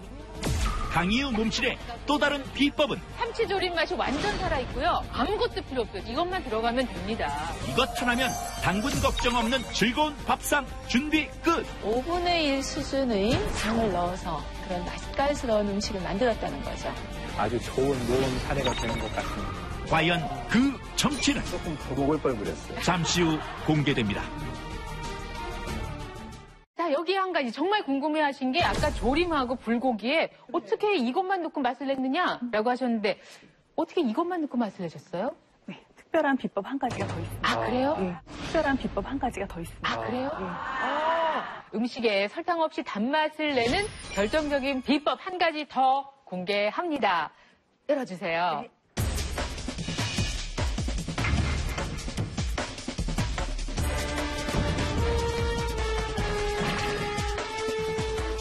열어주세요.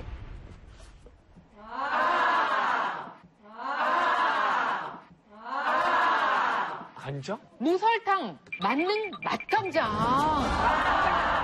사실 요즘에 주부들 맛간장 많이 만들어 놓고 쓰시는데 설탕이 들어간단 말이죠, 저희는. 네, 그렇죠. 일반 저희가 예전 레시피 맛간장이라고 네. 나와 있는 레시피를 보면요. 간장 6컵에 이 설탕 1컵.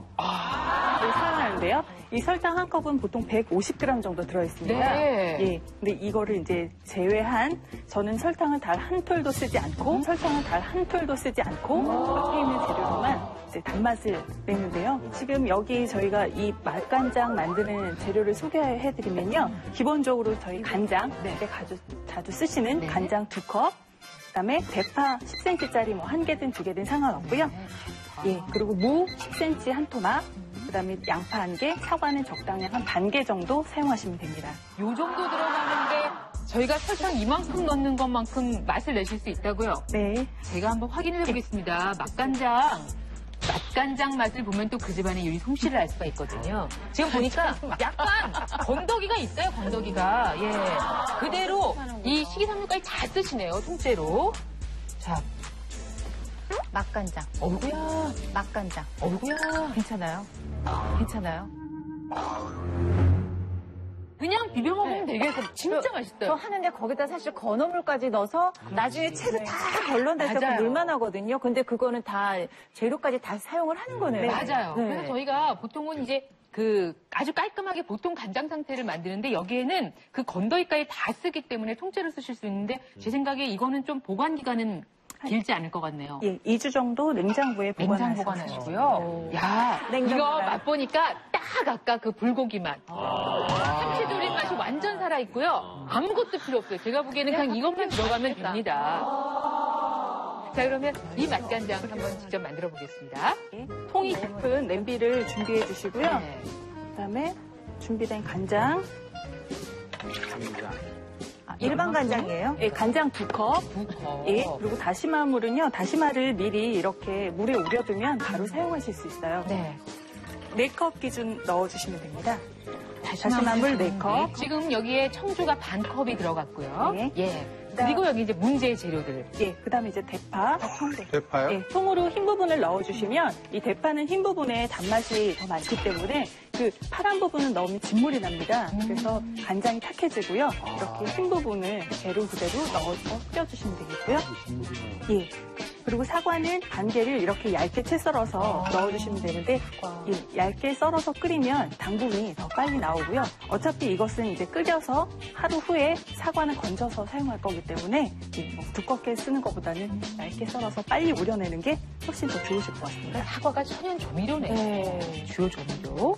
그리고 무와 양파가 있는데요. 이것은 통째로 넣지 않고 이렇게 강판에 갈아서 미리 준비를 했습니다.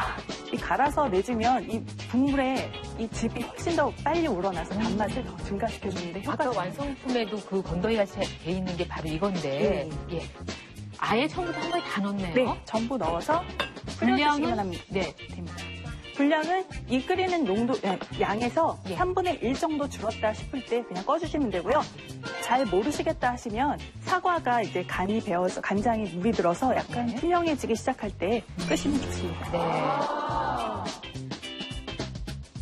이런 채소를 간장에 넣어서 이렇게 맛간장을 하시면요. 채소에 들어있는 수분이 빠져나와서 간장이 좀 더 염도가 낮아지고요. 또 여기에 덧붙여서 칼륨 성분이 나오기 때문에 나트륨을 배출하는 데도 좀 도움이 될 것 같습니다. 자, 이렇게 해서 맛있게 만들어진 맛간장, 설탕 하나도 들어가지 않았습니다. 거기에 아까 만들어 놓은 또 각설탕, 천연 각설탕을 어, 합해서 저희가 불고기와 삼치조림 한번 만들어 보도록 하겠습니다. 좋은 고기가 와 있네요. 예. 색깔이 아주 예, 우선 뭐 재료가 아주 간단해요. 네네. 어.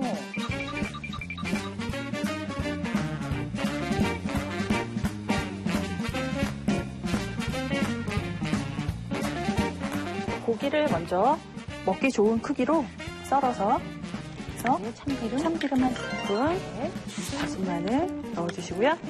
파도 미리 넣어주세요. 그대로 다 넣어. 그냥 다 들어가나요? 그냥 뭐 예쁘게 어떤 순서 상관없이 다 넣으시고요. 그다음에 이제 저, 예, 제가 준비한 이 사과 야. 설탕 두 개, 맛은 이것이 책임집니다. 양파, 예, 양파 양파 가른 가른 거 두 개. 그다음에 아까 그 맛간장, 아. 무, 무와 양파가 이제 골고루 갈려서 섞여 있는 것도 다섯 스푼입니다. 다섯 예. 스푼. 그래서 그냥 조물조물 묻혀주시면 되고요. 야, 이렇게 단단하게 했는데 아까 그 맛이 났다는 거. 절대 나눌 수가 없지. 이거. 제가 계산해 보니까요. 실제 이 맛간장 한 스푼에 0.3g 정도 이 설탕이 들어 당분이 들어 있으니까 지금 다섯 스푼 하니까 한 1.5g 들어갔고요. 여기에 양파를 마카 두개 넣으시고 또 사과 각설탕 두 개 넣으셔서 거기에서 2.6g 하니까 다 합해도 4.1g 정도밖에 안 돼요. 그런데 저희가 아까 맛봤을 때는 굉장히 이렇게 정말 그 불고기에 고유한 그런 들썩지근한 맛이 살아 있었거든요. 보통 200g 소고기로 불고기 양념을 할 때 설탕이 한 20g 정도 들어갑니다. 통상적으로 하는데 거의 5분의 1 수준의 그런 당을 넣어서 비슷한 형태의 단맛이 나는 그런 맛깔스러운 음식을 만들었다는 거죠. 한 가지 더 삼치조림도 한번 간단하게 해보겠습니다. 삼치조림을 준비했는데요. 삼치 이제 1인분 그래서 반 토막.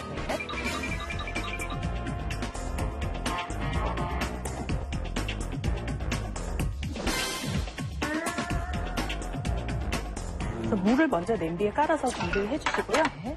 그다음에 양념을 섞어보겠습니다. 다진 마늘 한 큰술, 그다음에 고춧가루도 한 큰술, 그다음에 저희가 사용하는 지금 이 양파 얼음, 양파. 예, 양파 얼음 네. 한 개, 그거 두 개만 넣어도? 한 개, 예. 이 두 개만으로도 충분히 네. 아까 드셨던 단맛을 내실 수 있는데 대파는 조림장에 넣어서 묻혀주시고요. 큰 부분은 퐁퐁 썰어서 네. 양념장. 양념장을 해주시고 이 양념장과 생선을 넣어서 같이 졸여주시면 끝납니다. 네, 또 계산하느라고 제가 또 바빴습니다. 너무 적은 단위를 지금 아, 네? 지금, 네, 이건 뭐 너무 적지만 그래도 잘 더했습니다. 네. 이 삼치 조림에 맛간장 4스푼 들어갔으니까 거기에 들어가는 당의 양이 1.2g 정도 됐고요. 또 파인애플 각설탕 1개, 양파 각설탕 1개 각각에 0.7, 0.5 들어가서 1점이니까 지금 2.4g 정도 들어갔거든요. 예. 그런데 실제 삼치 조림 같은 거 1인분 할 때 1인분에 기본적으로 설탕 1티스푼 5g 정도는 들어가요. 그러니까 지금 절반의 당의 양, 그것도 천연 당을 가지고 설탕을 넣어서 조리한 것 이상의 맛을 냈다는 것은 굉장히 좋습니다. 아니, 지금 몸심께서 이제 차린 천연 각설탕 요리 밥상을 보니까요. 이 모든 걸 한 끼에 다 먹어도 다 계산해 보니까 당의 양이 생각보다 많이 적었습니다. 조금 더 먹을 걸 그랬어요. 저는 앞서 아버님께서 이렇게 식사를 하실 때 어, 양이 제법 많으신데 네. 또 당뇨 환자신데라는 생각을 했는데 그렇게 드셔서 더욱 건강해진 까닭을 저희가 확실하게 알게 됐네요. 네, 보시다시피 우리가 첨가당, 즉 설탕이나 이런 것들을 쓰지 않고서도 야채나 과일로서도 충분히 당, 맛을 낼 수가 있고 세계보건기구에서 권장하는 25g 이내로 유지할 수 있는 아주 좋은 모험 사례가 되는 것 같습니다. 당 함량은 낮추고 음식의 맛은 올려주는 당이의 몸신의 천연 각설탕. 먼저 양파 각설탕 만드는 법부터 알려드릴게요. 양파 두 개를 얇게 채 썰어준 다음 물 한 컵과 함께 중불에서 20분간 끓여주세요. 그 다음 잘 갈아서 얼음틀에 넣어주기만 하면 되는데요. 이렇게 하면 양파 각설탕 만들기 끝! 사과는 잘 씻어서 껍질째 갈아주시고요. 파인애플도 갈아서 얼려주기만 하면 혈당 조절에 도움이 되는 초간단 천연각설탕이 완성됩니다. 설탕, 만능, 맛간장 만드는 법도 알려드릴게요. 간장 2컵, 다시마 물 4컵, 청주 반 컵을 냄비에 부어주세요. 그리고 대파 흰 부분 2개, 얇게 슬라이스한 사과 반 개를 넣고 마지막으로 양파 1개와 물을 갈아서 넣은 뒤 약불에서 간장의 양이 3분의 1이 될 때까지 졸여주면 됩니다. 이제 실온에서 하루가 지난 후 사과만 건져내면 완성입니다. 어떠세요? 설탕 한 숟가락 쓰지 않고도 건강한 단맛을 만드는 방법. 여러분도 오늘부터 건강하고 당당한 단맛을 즐겨보는 건 어떨까요? 대한민국 모든 국민이 몸신이 되는 그날까지 나는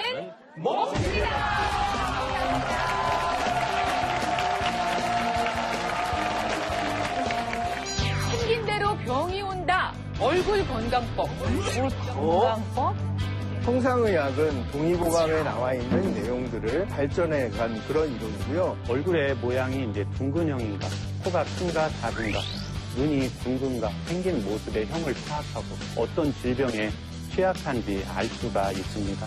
대장 쪽하고요, 스트레스로 자궁 쪽이